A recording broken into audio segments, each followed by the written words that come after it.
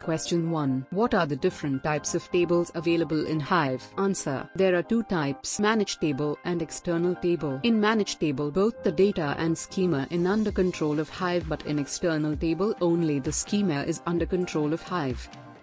Question 2. Is Hive suitable to be used for OLTP systems? Why? Answer. No Hive does not provide insert and update at row level so it is not suitable for OLTP system.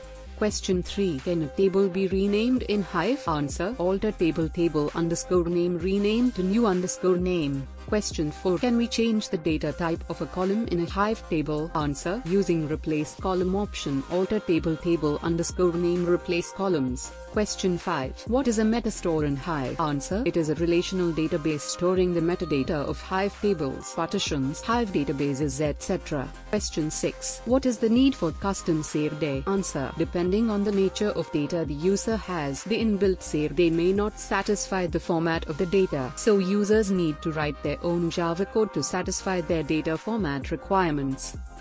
Question 7. Why do we need Hive? Answer. Hive is a tool in Hadoop ecosystem which provides an interface to organize and query data in the TABC-like fashion and write SQL-like queries. It is suitable for accessing and analyzing data in Hadoop using SQL syntax. Question 8. What is the default location where Hive stores table data? Answer. HDFS colon slash slash name node underscore server slash user slash hive slash warehouse. Question 9. What are the three different modes in which Hive can be run? Answer. O local mode O distributed mode O pseudo distributed mode. Question 10. Is there a date data type in Hive? Answer. Yes. The timestamp data type stores date in java.sql.timestamp format. Question 11. What are collection data types in Hive? Answer. There are three collection data types in Hive. Array map or struct. Question 12. Can we run Unix shell commands from Hive? Give example. Answer. Yes, using the mark just before the command. For example, pwd at hive prompt will list the current directory.